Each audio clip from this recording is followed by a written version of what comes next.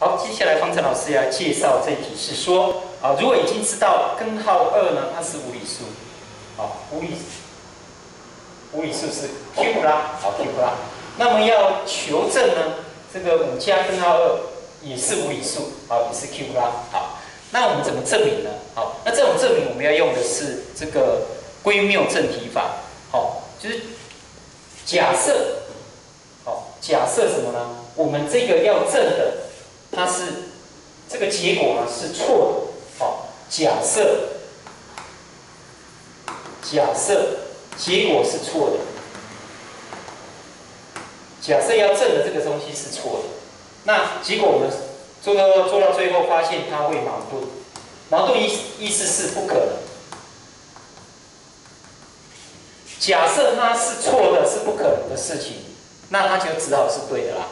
好，假设它是错的，结果不可能发生，那它是不是就一一定要对的？好，就是这样。好，所以我们这个题目呢，要证明的时候，我们就先假设。好，因为要直接说它是一个无理数很难解。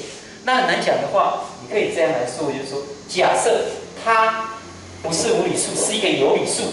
好，那是一个有理数呢，我们给它一个代号，这样等一下要处理才会比较好处理。特别注意到这边给它一个代号。好，那所以你就得到的是 r，假设 r 就会等于这个数，好，我加根号二，那那是这个是错的，只好是有理数。好，是有理数的话，那它是有理数，那我们现在已经有的是什么？根号二它是一个无理数，已经知道了。那根号二是一个无理数的话，我们要利用这个来产生矛盾。那怎么样产生矛盾呢？因为根号二呢，它是无理数。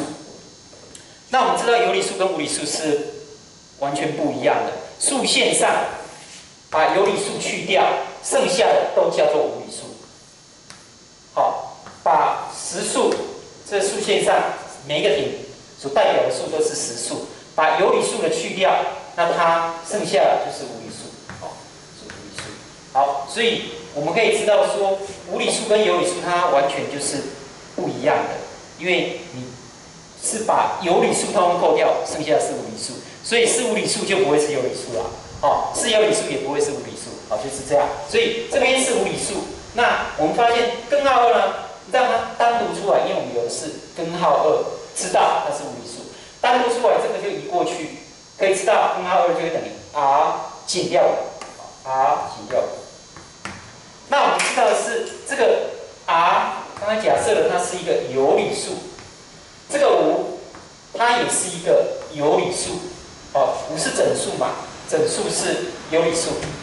好，那两个有理数的加减乘除四则运算，哎，都还是有理数，所以最后就证明出来根号二居然是一个有理数。